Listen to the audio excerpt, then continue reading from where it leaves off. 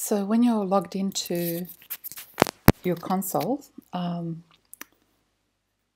you'll see this um, horizontal bar at the top. So you hover over edit page and edit with UX Builder and that's how you access UX, UX Builder. Um, it's a much, much easier, more modern way of um, editing the site. Uh, but what we want to do is go to kitchens. What is kitchen refacing cabinet handles? That page is now finished for you. And it's just a quick walkthrough on how to um, edit the text and the images. Um, this page is now completed and ha being handed over to you. Uh, so you go to um, edit page, hover, this drop down comes up, click on edit with UX Builder.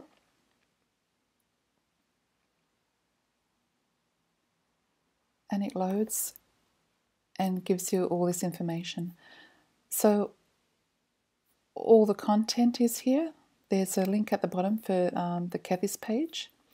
Uh, so the way that you manage this is you click onto this box here.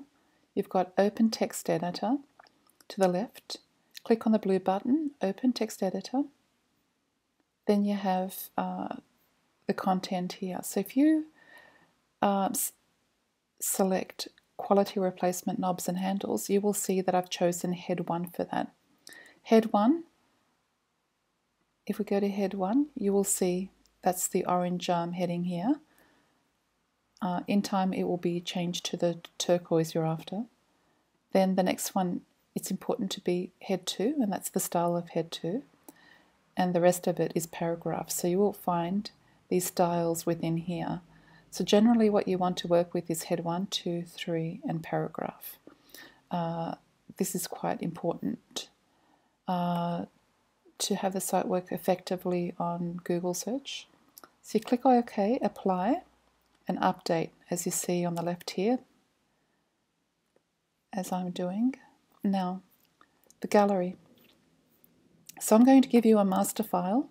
All these images had to be had needed to be resized. Um, so if we go to, we click onto the gallery, we go to Edit Gallery, um, Add to Gallery. So you go to the media part of the site, Media Gallery, uh, Upload Files. So we want to, uh, now if you want to choose any more knobs and handles, you use the master file I gave you I use Photoshop, so you'll probably use some other software for your PC. I don't know what that is. Um, so it's important you keep that exact um, size and overlay it with the choice of handles and knobs that you're after. So we go to select file. I would then choose, I'll go to handles, get these knobs. So I'll choose the, let me see, I'll go to the larger image. So that square format, I'll call this one, uh, won't be able to change it, I've just uploaded it anyway.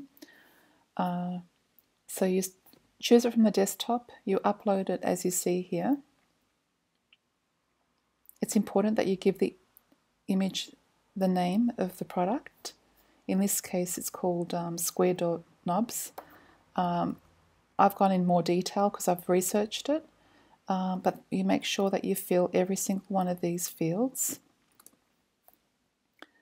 and then add to gallery. And you will find it's added down here, but we have it twice.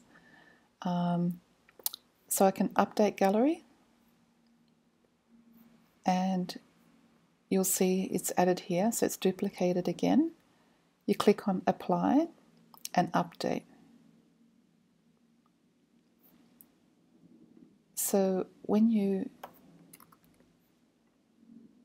so we'll put, jump out of UX.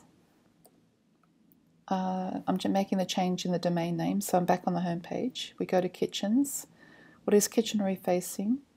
Cabinet handles and you will see the gallery here. So this has been custom coded um, so people can scroll and you can see the extra square knobs there. I will actually leave it for you to remove and it's quite easy to remove. So I'll just go, I'll copy and paste this URL into a new tab up here. In my browser, we'll go to Edit Page, Edit with UX Builder. I have saved um, that second square knob finish to be in the gallery. Um, what, but if you want to remove it, you click onto the gallery, Options, go to the left, Edit Gallery. So this is where you manage your gallery. So if you want to delete it, you just click on the cross and it's gone. Or you can just um, leave it as it is. So I'm going to leave it as it is. I'm not going to save it. I'm not going to update the gallery. You'll see that it's still there. Um, and I will leave that for you to make that change. Um, so you can continue to grow this gallery uh, with as many images as you wish. But I will go into, so I'll quit out of that. Okay, exit out of that. And I'll go to Reface Kitchen's dashboard. And here to the left is uh, media. So this is where the media library is, where all your media is being stored, the images. Uh, so when we choose this, that's the one I've just uploaded recently. But you'll see with all these others, I've actually written up unique descriptions for each and every one of them. They've been researched, and that's what's taken quite a bit of time, as well as all the images being resized to fit this exact same square pixel dimension, which is what you need to follow from here on. The other pages will be much the same, so I will give you that master. Uh, so the next page I believe to work on is um, replacement doors. We'll go into there and that's the Natura stone that's placed here um, and I will start on this in the coming day.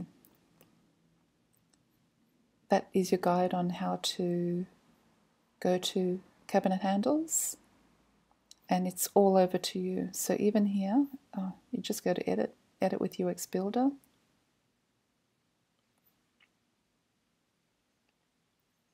You click on here if you want to make a change, open text editor, and this is all paragraph style, so that's your styling there.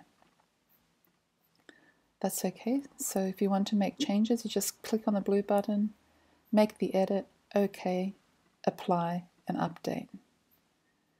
The social icons, uh, just leave them as they are for now. And you can edit the text. So that's how easy it is to go through and um, manage this page.